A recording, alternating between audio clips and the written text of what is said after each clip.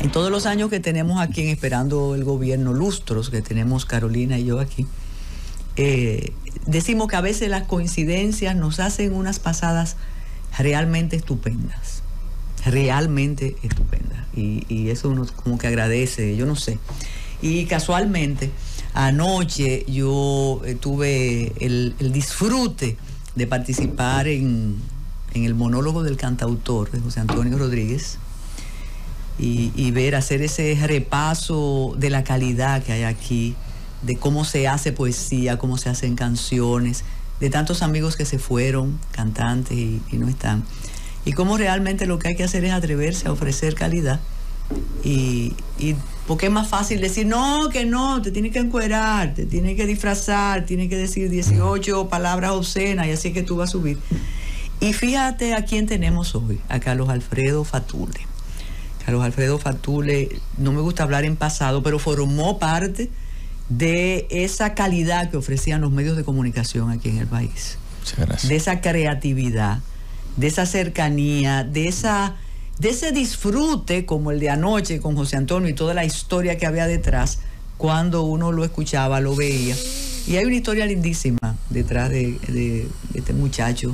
No, va a creer que ellos. Pero él era un popi de provincia. Lo que eran los popis de provincia antes, que necesariamente no teníamos mucho dinero, pero era otra vida. Claro. Pero este muchachito de la gente bien del Seibo y de la Romana, de una familia muy querida en, esas, en esos municipios y artistas de alguna manera. Sí. Y, y entonces ahí surgió el muchacho que iba a ser médico y se convirtió en charlatán, como dice un pariente suyo, muy ocurrentes. Yo tengo una relación familiar con Mussolini y con Hitler también. Oye los nombres. Imagínate tú si no hay creatividad. Todavía, todavía ya eh, no se ha establecido con Hitler porque ya él partió. Sí. Pero con Mussolini se puede todavía. Claro, tocaba guitarra, cantaba. Es que eso viene por ahí, viene de los Chaín. Bueno, un eh, saludo a todos. Famosísimo. Eh, empezó con el papá. Ah, sí. Sí, el, papá era Luis Alfredo Chaín, eh, Chaín Tuma, eh, primo hermano de mi abuela, que se llamaba Yamile, eh, Yamile Shahim Tuma.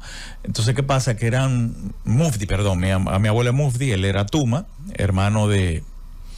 Eh, él fue el padre, bueno, fue el primer tenor. árabe, Fue el primer tenor árabe dominicano del Seibo que se destacó en la voz dominicana cantando tenor. Luego vino Napoleón Dimes, pero antes estaba él, Luis Alfredo Chaín, le decían Alfredo Chaín. Y Dimes también de origen árabe. También de árabe de la romana, pero Luis Alfredo, o mejor dicho, Alfredo Chaín era el papá de Pipo, que también se llamaba Luis Alfredo Chaín, cantante primerísimo, cantante de la rondalla de la, de la, del coro, de la UNFU. No sé si recuerdas esa canción maravillosa, patriótica, dice, hay una antilla en medio del mar Caribe. Eso lo cantó Pipo. Luego Pipo, que tenía un hermano menor que se llamaba Francisco Chaín, Casanova, eh, se convierte en Francisco Casanova, el gran tenor, sustituto de Luciano Pavarotti en el Met de Nueva York. Y de ahí viene esa estirpe. Pero antes de eso, mi abuela tocaba laúd, que es la guitarra árabe turca, y cantaba también. Eso es lo que teníamos entendido. Mira, yo me imagino, ilusión, como me estaba imaginando el asunto que comentábamos. Sí. Esa comunidad del Seibo y de las romanas, descendiente de esa familia, mirando a Carlos Alfredo ahora hacer esa qué sé yo, imaginación. Incluso sé de, una persona muy ligada a Hitler en una oportunidad, que es doña Telma, que está ahí fija, yo lo sé que sí. Entonces, Así lo. claro, Dígame una cosa. Entonces, el muchachito ya con, esa, con ese origen que me atrevo a, a, decir, cantó un día en el baño y alguien dijo, este muchacho canta, o cuando vino a estudiar medicina, un día de unos tragos, ay, pero muchacho... Pues tú te sabes la historia entonces. ¿Por qué fue así? No. Sí. Antes que eso, como yo, mi madre mm, y mi padre me apoyaron comprándome un pianito. Y yo con el pianito llegué, llegué a un momento en que ya yo me acompañaba cantando. Y mis canciones eran canciones de Camilo VI, cuando empezó, pero eran mucho más atrás. Eh, y cuando yo empecé a tocar y a cantar, yo también me imaginaba mis, mis shows. Entonces yo me imaginaba que estaba en grandes escenarios. Y el escenario para mí era el baño. Ah, mira, ¿Cómo así? Yo dije ¿Cómo así? en el baño. Bueno, porque yo abría la cortina, ese era el telón. Ah, bueno, sí. Abría la ducha que sonaba y esos eran los aplausos. Los aplausos. Entonces yo me inclinaba ante el público, que era la toalla, el- la bata, Eh, eh, el sí. bidet. la- Claro, esto. el lavamanos. y ahí em- cogía el jabón y empezaba a cantar. O sea, la primera canción que recuerdo yo, yo cantaba de todo, pero la ¿Cómo que qué más can- ¿Cómo qué edad? La canción que me escucharon cantar era la canción de del Triste de José José. Ah, pero eso es ay, para ay, altas voces. Eso es una Entonces yo arranqué por ahí. Qué triste fue decirnos adiós. Yo tenía una voz bien, bien aguda. Y me escuchaban los vecinos. Me escuchaban. Entonces ahí fue que le dijeron al profesor mío de piano, eh, pero él canta, que era el maestro del coro de la escuela, del colegio Ah, Santa porque Rosa. usted sí estaba aprendiendo a tocar piano, eso sí. Sí, porque luego de, de yo tocar de oído me pusieron un profesor y el profesor también me, me daba canto, pero también yo estudiaba música en la Academia de, de los Santana. Entonces, Claro. ópera. entonces, cuando yo llego al coro, no encajo en el coro, ¿Por qué? porque la voz mía era muy aguda, era femenina, o sea, una voz de soprano. Y me iban a poner con los sopranos. Yo dije que no, que yo prefería tocar algo. Me dijeron, bueno, lo único que hay vacante aquí es guira. Y yo, "Oh, pero yo aprend- aprendí en una noche. Al otro día ya estaba tocando guira. Qué loco, es bien. ¿Entiendes? Y, y aguanté hasta que se graduó el pianista. Entonces me senté en el piano. Y mi voz cambió a los tocando la 13. guira. Claro, porque entonces usted era an- preadolescente. Sí, era preadolescente tocando guira. Entonces se le arma la voz, ya se me le armó la voz y ya yo cantaba como tenor. Entonces ahí me puse en el coro a cantar como tenor y como leading voice, que era el- la voz, voz eh, de eh, eh, voz principal de, de algunas Y Eso era en la canciones. escuela del Es que daba mucha apreciación musical. Eso. Ay, O sea, Dios no me mío. haga lamentar. Nuestro colegio era, eh, eh, nos sentaban, la clase era escuchar con títulos y todo. Lo, la, la- anunciaba el profesor el título de lo que íbamos a escuchar y todos teníamos que escucharlo. Si era Bach, si era Palestrina, si era Beethoven, si era Tchaikovsky, todo eso nos lo enseñaban chiquitito. Y yo siempre sacaba 100, porque me- yo ten- tengo una memoria fantástica este, auditiva, además de la, de la, visual. Y yo siempre sacaba 100. Y ahí me entraron en el coro. Y de ahí del coro de la iglesia. Pero ¿qué pasa? No me daba vergüenza cantar en público. Y me ponían a cantar en los eventos eh, colegiales y escolares multitudinarios en centro del parque. Y ahí fue que yo canté mi primera vez eh, alrededor de todo el parque completo en la glorieta. Pero eso era allá en la Roma. En la romana, mi La mamá no sabía nada. Entonces me ponen a cantar y la canción que yo me sabía era la que mi papá me sabía. ¿Cuáles eran las canciones que tocaban? En mi- En mi casa se tocaba mucha música clásica.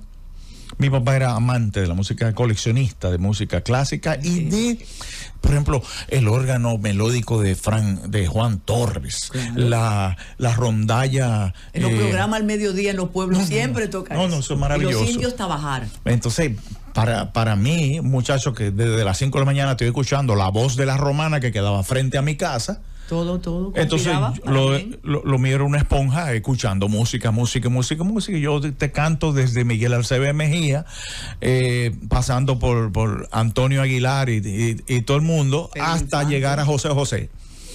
Entonces la canción que canto en el, era la canción que yo escuchaba en mi casa, que la ponía mi papá muy orgulloso porque la cantaba su sobrino, eh, eh, este Pipo Chaín. Chaín. ¿Y cuál Que es esa canción? Hay una antilla en medio del mar Caribe que luz y vida recibe del sol de la libertad. Ninguna por sus laureles en medio del mar Caribe luz más brillante recibe del sol de la libertad. Eso Los aquello. aplausos en las romanas se No, no, eso se- sintieron en eh, toda la zona este. Esta está llorando. No. Bueno, lo, lo que pasó que Era de- cuando eso pasó, salen corriendo de por allá a avisarle, ahí está tu hijo, a mi mamá. Ahí está tu hijo cantando. que se ve un pipiolo así, pero está cantando y todo el mundo aplaudiendo. ¿Y ¿Y tu padre? ¿Y tu padre? No, cuando yo llegué, mi mamá me dijo, no me dijiste nada. Ay, ay, Digo, ay, yo, ay, ¿pero y qué te iba a decir si fue del colegio que me, me llevaron? Yo no podía venir para acá, pedir permiso. ¿Qué? Pero, ¿y tu papá? Feliz. No, papi feliz. Papi claro. es músico. O sea, papi es feliz. Y, y entonces, este.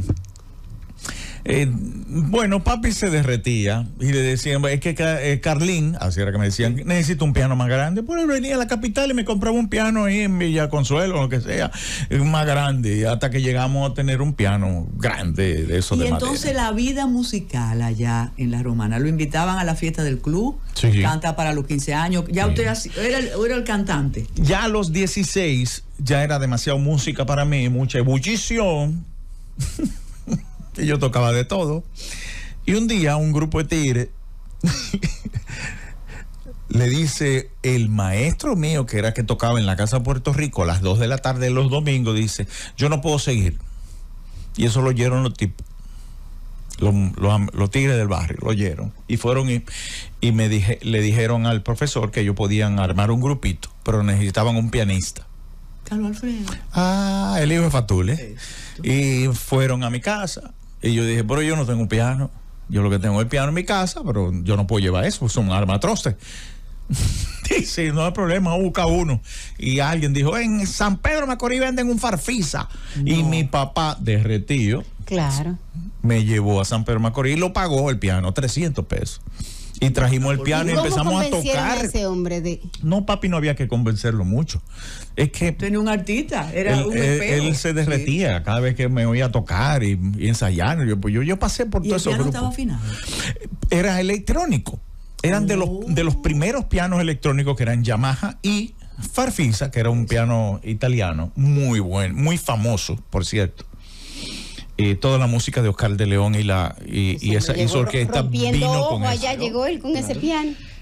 Y empezamos a tocar en la Casa Puerto Rico, ensayamos los viejos y queridos merengues tradicionales, que es Compadre Pedro Juan, que es San Antonio, que es La Agarradera, La que, que- la ah, y el, el emblemático romanense Caña Dulce, Caña Brava, de Toño Brea, y así sucesivamente eh, eh, eh, armamos un repertorio sin dejar las canciones de José José.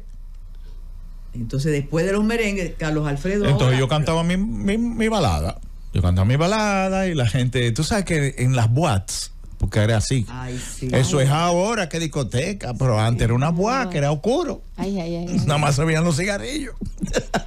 Favorito a veces. Favorito. ¿Eres tú? Entonces, en la boa la gente bailaba. Y, y uno tocaba todo su merenguito, su, su guaracha también. Sí, ay, ay. Ahora dicen salsa, pero antes era guaracha. Entonces cantábamos, eh, vámonos pa'l monte, pa'l monte, y el muchachito ahí tocando yo. Y así empezamos a darnos a conocer en, el, en los predios del club social. ¿Y, ¿Y cuándo tocas en Santo Domingo? Por No, pues, Espérate, falta. Fa- oye, falta. pero- Falta. Ay, Dios mío. yo tenía 10 40 años ya. Yo lo que tenía eran 16 años. Y ya yo estaba dirigiendo una orquesta. Oye, y la orquesta- los estudios? Eh, no iban bien, porque yo no, yo no, yo no me acuerdo que yo dije come libro, no. Yo escuchaba mi clase muy atentamente y bien y, y pasaba bien. Algunas, algunas notas las pasaba rayando, pero generalmente pasaba. Generalmente pasaba, pero eh, los estudios no eran problema para mí. Para mi mamá sí se preocupaba mucho, porque cuando yo empiezo a tocar públicamente, porque aquello era privado. Ah, pero un paréntesis, además, tú no eras parrandero, ¿o o sí? Eh, no, No, eh, no, eso no. me dice. pero que no necesitaba parrandero, No, porque ya él porque se estaba se- divirtiendo ahí. Yo me estaba divirtiendo Pero de se mayo. liga a veces eso con... Pero no. No, hombre, no, yo, yo era muy pariguayo, eh, Sí. eh, era muy tímido. Yo lo que encontraba que la música era donde yo Claro. me explayaba, era donde yo me botaba. Bailador. Sí, sí, bailaba y tocaba a la, vez. Sí. Merengue y todo, todo. Entonces, eso me encantaba. Yo hacía coro y en la balada yo era el, el- el baladista. Pero empezamos, em- empieza la gente, mira, tú no puedes tocar una, una- unos 15 años que yo tengo para mi hija. Y, y Y yo dije, bueno, muchachos, vamos, vamos a arrancar. Había dinero. sí. Y una Oh, Dios, nosotros cobramos 35 pesos dominicanos por Ay, un Dios. cumpleaños de dos sets. Y se repartieron. Claro, a mí me tocaban 10 pesos de eso. Y Jesús. después el resto a todito. Ves que son Un 40 dinero. años que él tiene de vida. Ya hace 10 Claro. pesos, eso era un dinero. No, pero un dineral. Pero un dineral. ay Dios mío, ¿cuánto costaba un refresco? Chele, refresco eran un peso. Ay, quien llevaba 5 centavos en la época mía, que soy A mí me daban mayor. 10 y a Ah, mí me daban por una masita y un refresco. claro. Melcocha, una melcocha. Y un imperio en Puerto Plata, el imperio. Pero yo la otra día vi una masita más rica, sabrosa. Y, ay, me compré una funda. Y no le hizo daño, porque ya después que esos estómagos. No, pero yo no, yo no volví a comer el resto del día, porque yo venía del Ay, Cibao, me paro y veo una masita en ese sitio. Ay, mira una masita. Porque le echaban un poco de, me- de mela- melaza Melaza. Para darle un, que- un quemadito. Ay, qué rica. Bien, bueno, pues ya. Bueno, pedacito de coco. Sigue, ya está ganando un dinerito. Eh, tocando, tocando, tocando, tocando, eh, que cumpleaños aquí, cumpleaños allá, fiesta de, de, de- de cumpleaños de, de gente mayor en patios de, de mansiones y de, y de casa grande, hasta que llega el momento en que una de esas fiestas, en la casa de Puerto Rico también, eh, No me digas que en- está cerrada la casa. en una mesa, no, la casa Ah, de Puerto sí. Abierta. Eh, en una de las mesas hay un grupo de, de gente que está ahí disfrutando y uno de los invitados era Chuchú, coordinador de artistas del show del mediodía. De cuando el show del mediodía estaba en el canal 7. Llegó papá Dios. Vamos. Entonces ese señor le gustó todo el- porque nosotros teníamos algo, imitábamos al conjunto Quiqueya. Entonces los merengues sonaban igualito y vestíamos igualito, así con pecho abierto y, Y todo. todo. Entonces muchachones también. ahí Sí. de la romana. Y él le dijo, mira, yo quiero llevarlo al show. Y le dimos el teléfono y toda la cosa y nos llamó. Y dijo, mira, le vamos a mandar una guagua. Oye, No. Y nos fueron, nos mandaron a no buscar. durmieron esa noche, No, que iba a dormir. Al otro día yo iba feliz porque íbamos a debutar en el show del mediodía. Hollywood, ese era el Hollywood. claro. Dios Y mío. llegamos al show de mediodía eh, de la romana y nos dieron la oportunidad, pero nosotros nos quedamos ensimismados, sorprendidos mirando luces, cámaras y mirando a los personajes que uno veía. Sí. O sea que Salieron de la pantalla y. Ese, ese es el gordo, sí, ese es Freddy. Míralo ahí, y ese bigote, ese es Augusto, ese es. Y mira el otro. eh. No, ese Jackie, claro. Y, y estábamos locos con, con eso, estábamos perdidos. Provinciano. En vez de estar estaban afinando en Disney, los en Disney estaban. Exacto. en vez de estar afinando los instrumentos, nos convertimos Ay, no en. me digas que sonó mal. Espérate. Ay. Vamos, que van ustedes ahora. Anda y la la- presentadora llega, una rubita, Anda ella, la flaquita, bien bonita, Noria Piera.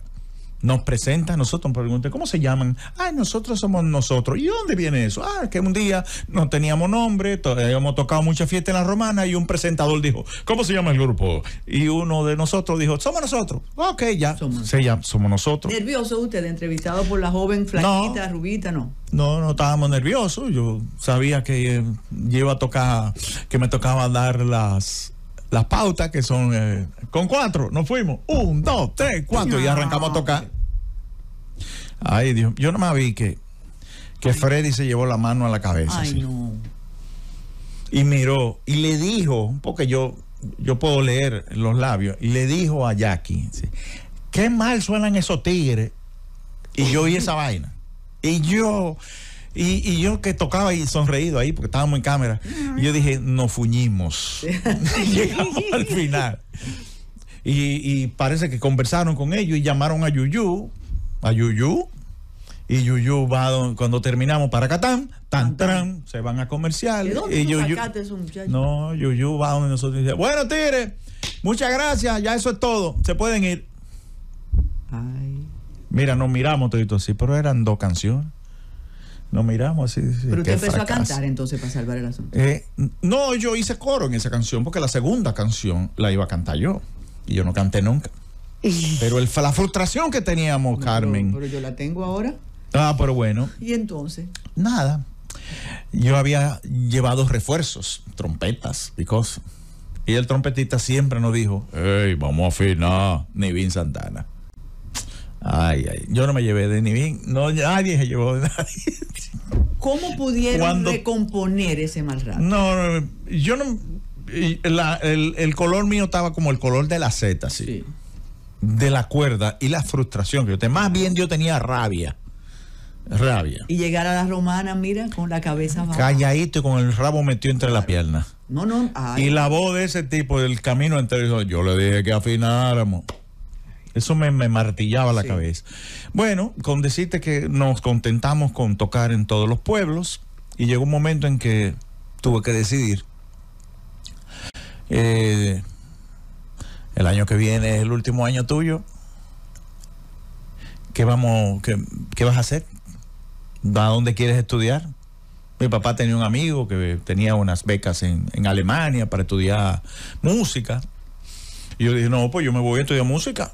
Mi mamá me dijo, mira, tú eres muy bueno con la medicina también. Tú, yo Sí. creo que tú debes de el estudiar. músico no es gente en esa época. No, no, no.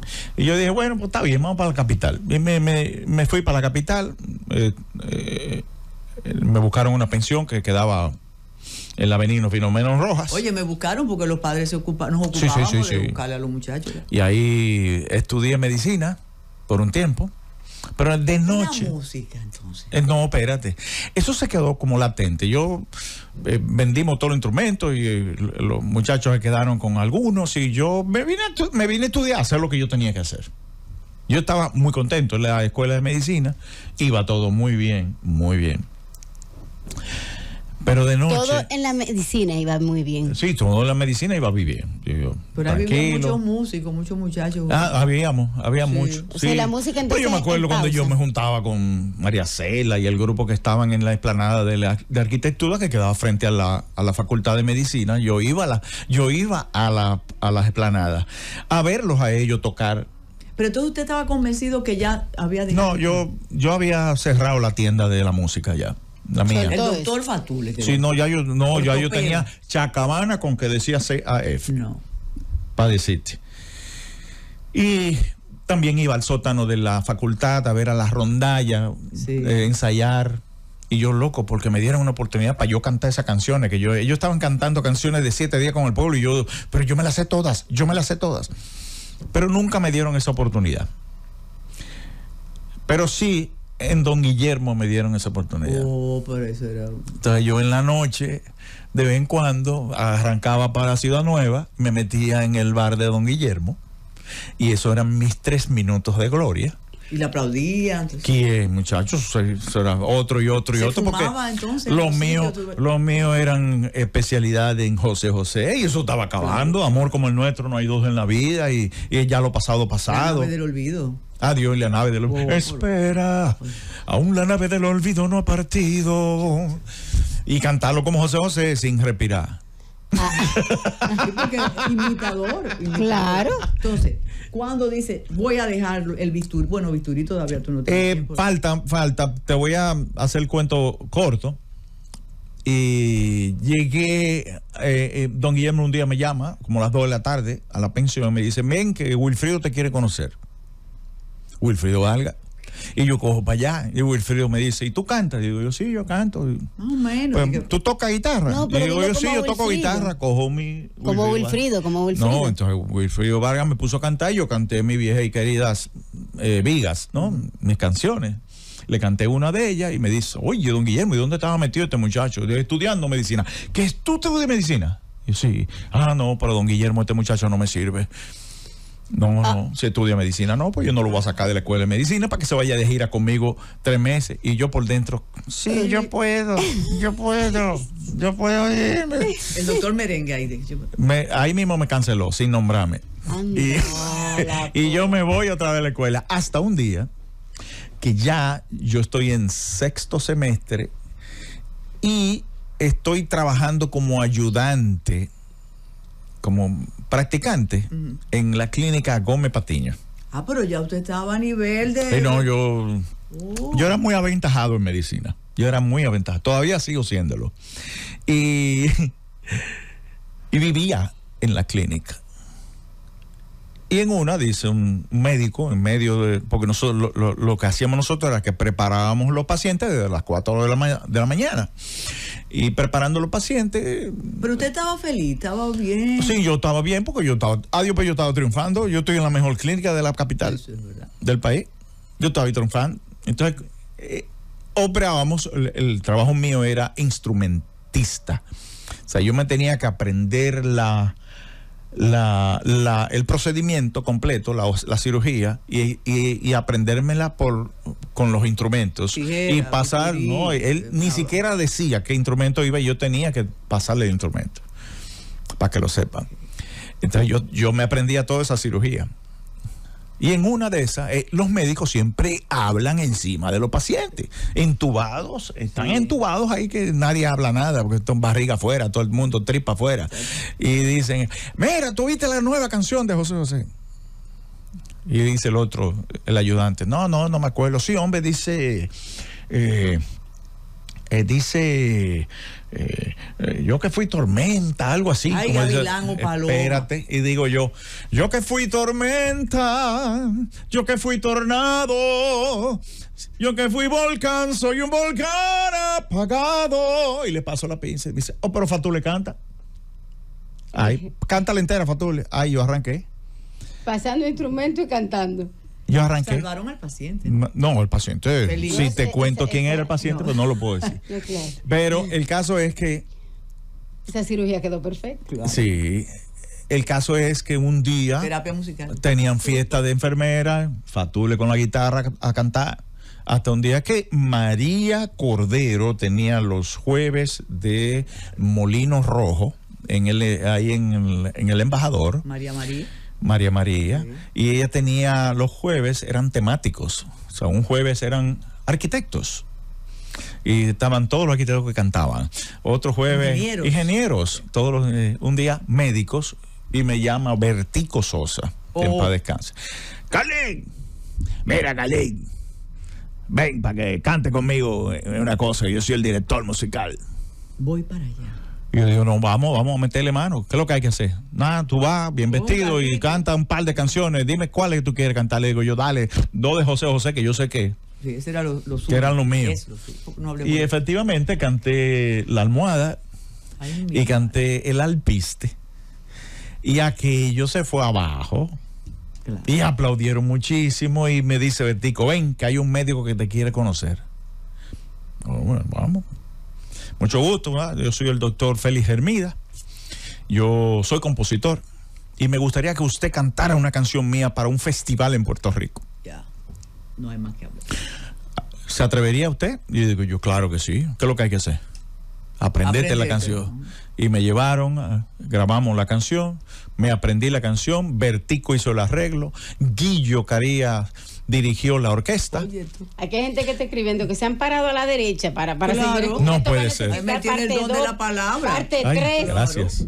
Bueno, pues el caso es que yo fui a Puerto Rico con la ayuda de mi equipo de softball de la Liga Salvador Estrellas Adalá. Pero venga, que, que ahora ya somos jugadores también. ¿Cómo No, es? pues por los sábados yo eh, acompañaba a un amigo a jugar en la Liga Salvador Estrellas Adalá y un día en la liga había un piano y yo me senté en el piano y empecé a tocar. Después del juego era obligado a cantar todo el mundo y yo también. Este muchacho Entonces, hiperactivo. le dije a los amigos de la, a mis compañeros Vamos de la liga, Puerto señores, Rico". yo estoy en- voy a inscribirme a un, a un festival y necesito la ayuda de ustedes.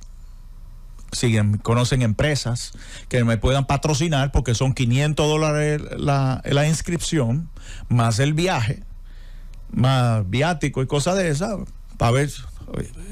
Y en paz descanse Ch- Chuchu Puello, levanta la mano y dice, ¡Hey! Momentico, cervecería Bohemia pone, eh, te patrocina. Y dice el otro, Cuco Dávila, Oye, yo le, ¿cómo era? ¿Qué eso yo, yo le pongo dos trajes a Carlos Alfredo, nuevos. Y sale otro, y yo los zapatos, Ay, y yo mío. tal cosa. Y yo, cuando yo vine a ver, yo Estaba armado para irme para Puerto Rico. Y Ah, llegué a Puerto Rico. Y llegué a Puerto Rico, ensayamos la canción. Primer viaje en su, de su vida. Eh, no fue el primero de mi vida, pero era una emoción. pero era una emoción muy grande. Llegó el cantante. Adiós por él el cantante. Yo estaba representando República Dominicana junto con otros eh, compañeros, uno que había ganado el año anterior, que era Sergio Hernández, con una Claro, canción. Entonces ya eso estaba como una... Iba en detrimento a que yo ganara, dije, dos veces República Dominicana. Estaba, yo estaba asustado en ese sentido, pero yo estaba muy confiado de la canción. Y la canción, el arreglo era ¿Dónde extraordinario. fue el festival? El festival fue en Bellas Artes, Hermoso lugar. hermoso, en, en Santurce. Y, y recuerdo como ahora el, el ensayo, el primer ensayo, que venga fulano, que venga fulano. Y me dijeron, Carlos Alfredo Fatule, que le toca, venga. Y yo, yo me gustaba beber whisky. y ya yo tenía dos o tres a- abajo. Ay, padre. Pero usted me había dicho que era pariguayín. Entonces, sí, No, pero, pero era antes. Pero eso era Ah. antes en la romana. Pero aquí ya yo estaba. y Yo estaba medio contento y yo canté la canción de arriba a abajo. La tocó la orquesta precioso y la canté. Y la orquesta empezó a aplaudir, todo el mundo. Y ahí empezó el problema. Empezó el problema, no, sino empezó la tensión. Porque me convertí en ese momento en favorito. Ah, Y eso se regó. ah. Y tú sabes que en los festivales también se hace lobby Sí. y se hace Sí. y esto y lo otro. Pero yo nunca he creído en nada de eso. Yo lo que fui fue a gozarme en mi festival. Cantamos la primera noche y, y logramos ser los 12 finalistas. Y los 12 finalistas en la, en la transmisión, eh, la transmisión, eh, eh, vamos a decirle, del festival en vivo por Guapa, Guapa Televisión. Eso se veía en todo Puerto Rico y parte del este de la República Claro. Dominicana que aprovechó mi madre y mi padre y se fueron a Boca de Yuma con un televisor de pila Para disfrutarlo, se veía mejor Ay. y se veía y, mejor. vi- no, y lo veían perfecto. Claro. Ellos vieron el festival y yo ese, ese Ay, día sí. Fui agraciado con el primer lugar como la canción Pero, dilo, ajá. y el tercer lugar como la interpretación. la Me- canción, ¿te acuerdas? Claro, Naturalmente. Amarte de Félix Hermida. O sea, amarte eh, es comenzar la vida cada instante. Amarte es no creer que existan noches frías. Amarte tic-tac que vuelve loca mi alegría. Amarte es, no, es pretender estrellas por el día. Amarte es ver el sol amanecer en tu ventana. Creer que el tiempo... Mira, no, no, no, no, no. mira. Maravilloso. qué año. Maravilloso. De verdad que nos ¿De qué- ganamos. el año? ¿Y por qué tú quieres? No, están preguntando que en ¿Qué que en qué año. año. Eso fue en en 1983, exactamente un 40. 23 de septiembre. Oye, casi como el nacimiento de una persona que conozco. 83, pero 21. Dígame una cosa. Wow. Entonces, ya Carlos Alfredo llega triunfante a la República Dominicana. No, ya estoy aquí triunfante, pero yo dije, no, no, es que yo no puedo, yo tengo que seguir en medicina. Pero como Oh. que no, como que sí. No, sí, pero al, prim- al principio cuando Aquiles Durán, el productor de, te- de fiesta de Teleantilla, que vivía en el mismo barrio que yo, en El Cacique, me visita para que yo cante, yo le dije, "Ay, vamos a dejar esos peneros. yo sigo en mi medicina. En enero él vuelve de nuevo, me dice, hey, vamos arriba. Y yo arranco para Teleantilla. Fiesta. Y ahí can- empecé a cantar en fiesta todos los martes. La orquesta de Manuel Tejada, en vivo. Ya. Y recuerdo como ahora, la primera vez que fui, fallé. No se podía fallar dos veces, los principiantes. Y yo fallé mis dos turnos y por consiguiente dije, me guayé. Pero Raúl Grisanti se metió en el medio y dijo, momentico, eso no puede ser. Ese señor acaba de ganar un festival con dos cosas. Aunque se haya equivocado dos veces, ese muchacho. Él se puede equivocar cinco veces. Es que hay que dejarlo. Este así. Y todo el mundo, eh, y yo recuerdo, ahí estaba Vickiana, eh, eh, Jacqueline Esteve, Bueno, ese Sonia era el Alfonso, programa Claro, de claro. eh, y todo el mundo empezó a aplaudir, decir que sí, que sí, que sí, que siga, que siga. Precisamente seguí, canté la canción completa y ya. ¿Cuál fue el fallo? No, yo elegí una canción que se llama Mi árbol y yo para, para cantar, Ah, una sí. canción bellísima de Alberto Cortés. Sí. Y se me, se me confundió la letra un par de veces. Los nervios posiblemente. Eran los nervios, realmente ¿Tú era un programa tú- Ahora que usted dice esa canción que es hermosísima, ¿la sientes las canciones? Cuando Totalmente. Las canciones. Y, y- y llora y de- Adiós. Mira, si te cuento que yo tengo una canción de Nino Bravo que me encanta, que se llama Cartas Amarillas, que cada vez que yo la oigo lloro.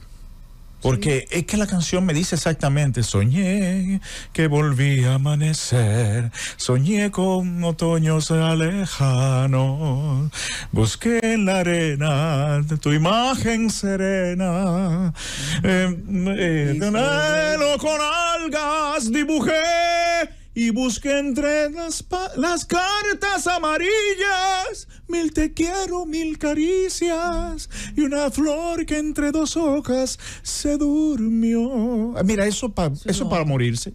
Dígame una cosa. La, la, la aptitud, el don para imitar voces, Eso viene de mi papá. pero afectó al Carlos Alfredo Cantante. Ya Sí. está llegando la trulla de Iluminada. ¿Afectó? Sí, sí, afectó. Afectó porque resulta que aquí el, el showman era más atractivo que el simple Sí. cantante. Entonces Milton Peláez descubrió en mí esa facilidad de yo hacer comedia musical. Y por eso me hace el primer LP o primera producción del merengue con ópera al lado, que era relajo puro, porque yo, no sé si recuerdan, 1985, un Miss República Dominicana que hubo donde ganó Melba Vincent. Ese show, el, el- el encargado del show fui yo. Y eran 17 minutos que me escribió Milton Pelay, donde yo hice de todo. Imité, toqué saxofón, toqué piano, to- eh, bailé, canté ba- boleros, eh, baladas. Eh, Era una cosa maravillosa. 17, y por esos 17 minutos me contrataron en el Hotel Sheraton para estar en el Yarey una temporada, seis meses. Y de ahí nos fuimos al, al hotel El Embajador. Y seis meses más. Entonces, eran llenos todas las noches. O sea, yo no tenía El descanso. espectáculo que- porque que entonces la gente quería ver al muchacho Sí. que hacía muchas cosas a la vez. Y hacía chistes, y hacía comedias, y, cantaba. ¿Cuál de esos personajes es entrañable para ti, de los que tú eh, imitas? Eh, entrañable, entrañable. mm, bueno, yo digo que de las imitaciones, yo un día de esto voy a invitar a la gente a un show que se va a llamar El Cementerio, porque ya están todos muertos, ¿entiendes? Es- un Alberto Cortés, que, No, que la a mí me encanta. visualización suya, por eso dije de Alberto. Tú ves a Alberto Cortés Sí. cuando lo- Sí, sí, sí. Mi padre y yo lo planteamos en el límite del patio. Pero eso era así. Sea, Rafael me encanta hacerlo. Me alegro mucho de volver a verte.